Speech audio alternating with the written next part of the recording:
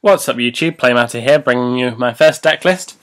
This is a deck list of Ash Bradbury, who's won a local tournament with this uh, build. And I just wanted to go through the deck for you.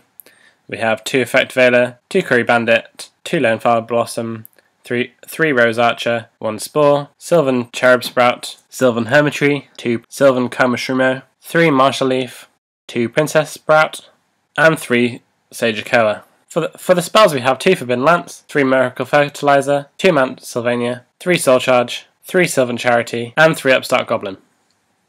Side deck is 3 Maxx C, 3 Mystical Space Typhoon, 2 XYZ Encore, 2 Debunk, 2 Rivalry of Warlords, Transmigration Prophecy, and 2 XYZ Universe.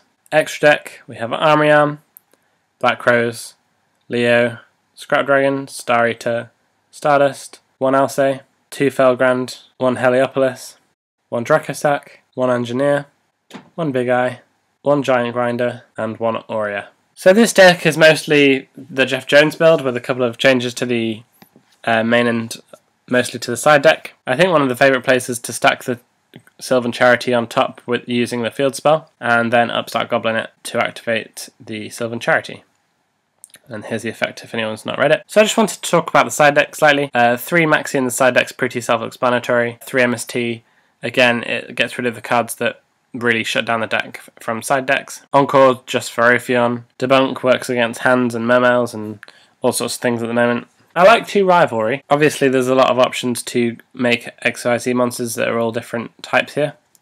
But no, I really do like having the rivalry in there. Transmigration Prophecy is a really interesting card. I think it just lets you do a lot this format and it can cause a lot of disruption against a lot of decks. I like that you can use it as a DD Crow and it sends back one of your cards, so you can recycle a card from your extra deck or send a uh, card back to your deck that you want. XYZ Universe is one of my favourite cards, uh, as you can probably tell because it's on my playmat. So yeah, congratulations to Ash Bradbury for winning with this deck.